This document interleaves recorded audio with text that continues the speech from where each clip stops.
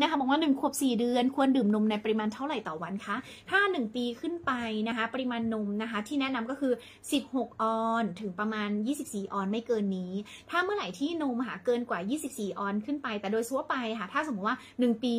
เราอะจะไม่ให้น้องกินขวดถูกต้องปะถ้าเป็นสายบุคลากรทางการแพทย์จะบอกให้คุณแม่เตาะใช้แก้วหัดดื่มตั้งแต่ 6 เดือน ทีนี้พอ 1 ปีน้องก็จะไม่มีแก้ไม่มีขวดแล้ว เราจะเริ่มอำลา bye bye bye bye ขวดนมกันตั้งแต่ 6 เดือน แล้วเราก็ต่อต่อต่อต่อต่อต่อต่อกันไปเรื่อยๆ จนปีหนึ่งปีครึ่ง คือไม่มีขวดแล้ว น้องก็คือจะ bye bye แล้วน้องก็จะกินนมผ่านจากแก้ว ถ้าสมมติเราอะค่ะคำนวณโดยง่ายๆ ก็คือถ้าเป็นนมกล่องก็คืออยู่ที่ประมาณ 1-3 กล่องต่อวัน ถ้าเป็นนมเนาะถ้าสมมติว่าให้น้องกินนมเยอะนะคะเนาะเขาจะกินข้าวน้อย เพราะว่านมมันไปขัดขวางนะคะแล้วมันเต็มกระเพาะและน้องก็จะปฏิเสธการกินข้าวก็จะกินข้าวน้อย แล้วก็บางบ้านก็คือว่าให้น้องกินนมเยอะ น้องกินข้าวน้อย ผักกินน้อยอะก็จะมีปัญหาเรื่องของการขับถ่ายท้องผูกถ่ายยากถ่ายแข็งเพราะว่าคือมันไม่มีผักมันไม่มีผลไม้เลยมีแต่นมอะไรเงี้ยนะคะน้องประมาณนั้น เพราะฉะนั้นคือปริมาณนมสำหรับเด็กที่ 1 ปีขึ้นไปก็คือว่า 1-3 กล่องต่อวันก็คือ 16 ออน ไม่เกิน 24 ออนต่อวันนะคะ ตอบให้แล้ว ใครตอบแล้วแชร์ให้ 1 แช